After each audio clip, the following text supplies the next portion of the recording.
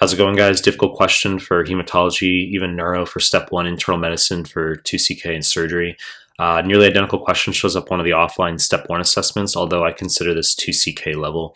Tell you exactly what you need to know and not waste our time, because this can be overwhelming very fucking fast. Before we get started, please subscribe to my channel. Really appreciate it. Give it a like. Really appreciate it. Find me on Instagram at mehlman underscore medical, M-E-H-L-M-A-N underscore medical. Links down below. Find me on Telegram. The links to the Telegram group and channel are down below. Now start the clip. 39-year-old woman brought to the ED. One-day history of fever, confusion, lethargy. She's febrile at 38 Fahrenheit. Physical exam shows scattered ecchymosis, petechiae. Neurologic exam shows mild to moderate generalized weakness. She's oriented to person but not place or time. Laboratory studies show hemoglobin decreased 9.5 grams per deciliter should be 12 to 17.5 in menstruating women, 13 to 17.5 in non-menstruating women and men. Leukocytes normal 7,500 per microliter should be 4 to 11,000. Platelets decreased 20,000 per microliter should be 150 to 450,000. Prothrombin time normal 12 seconds should be 10 to 15 seconds. Partial thromboplastin time 34 seconds, which is normal, should be 25 to 40 seconds. Blood urea nitrogen elevated 26 milligrams per deciliter should be under 20. A Coombs test is negative, which means we have no antibodies against RBCs. This detail can seem very confusion, confusing for students. All it means is we have no antibodies here against red blood cells. Uh, in terms of trying to explain why we have low hemoglobin.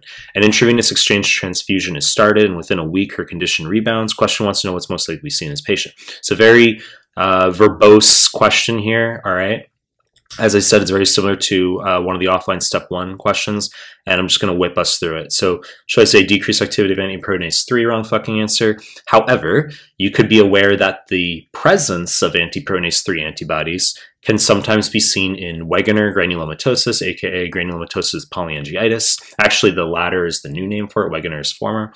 And this is the same as C-ANCA for all intents and purposes. Wegener is going to be hematuria plus hemoptysis in a patient who has headitis, colloquially as I refer to it, which just means any problem with the head.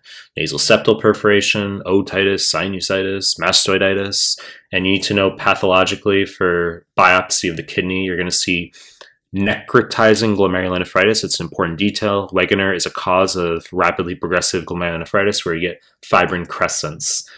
Wrong fucking answer. Choice B, decreased activity, HLA-B27 reductase, very recondite sounding answer choice, wrong fucking answer. This is going to be congenital methemoglobinemia, sounds recondite. This is on pediatrics for 2CK. This is assessed, okay?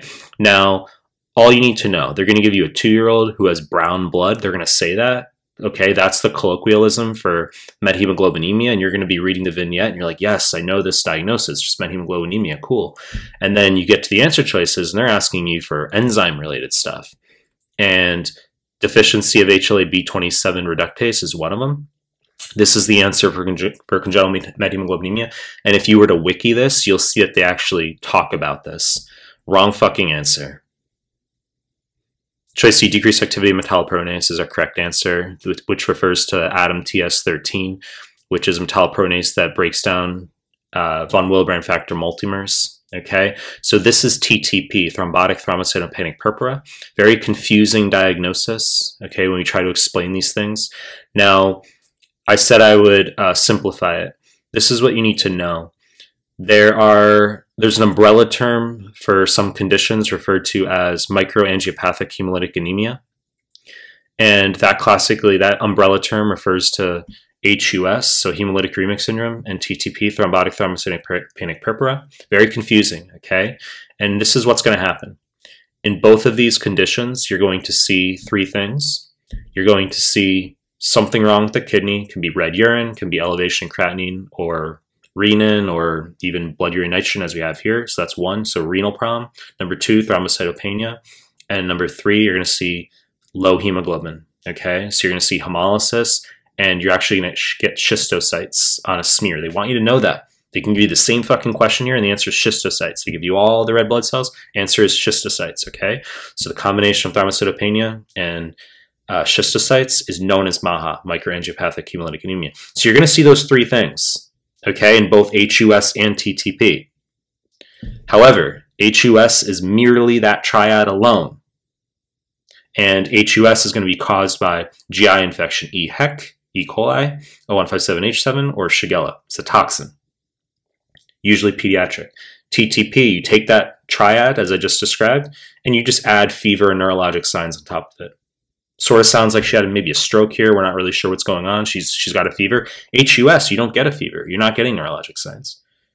So in both conditions, in one way or another, the immune system, T cell related, in toxin with the HUS, and TTP, usually idiopathic. Okay, autoimmune propensity, there can be a trigger, but generally idiopathic trigger. You're going to get increased activity of ADAM TS13, nebulous sounding matrix metalloproteinase that normally uh, prevents the breakdown of von Willebrand factor multimers, very buzzy type of uh, phrasing there. You get, you get decreased activity of ADAM TS13 in both of these conditions. So because you cannot get turnover of platelet complexes with uh, bound with von Willebrand factor in the renal endothelium, we get consumption of platelets and we will get shearing of red blood cells that fly past these platelet clumps, which is why we get the schistocytes. As I said, can get very fucking confusing very fast, but I just want you to take home that ADAM TS13 is associated with both TTP and HUS. You have decreased activity of it. You need to know it's a matrix metalloproteinase. You need to know that you get failure of cleavage of von Willebrand factor multimers. HUS is only the triad of renal issues thrombocytopenia, schistocytosis, hemolytic anemia, whereas TTP, we're going to add fever and neurologic signs on top of it. Now, real quick, decreased activity of myeloperoxidase, wrong fucking answer. You can know that the presence of anti-myeloperoxidase antibodies are seen in Churg-Strauss and microscopic polyangiitis. Churg-Strauss, and it's the same thing as P-ANCA for all intents and purposes for USMLE. Uh, and you can know that Churg-Strauss is going to be eosinophilia and asthma-like presentation. Microscopic polyangiitis is just going to be red urine. There's a lot we can talk about. I'm just going to finish up the clip here.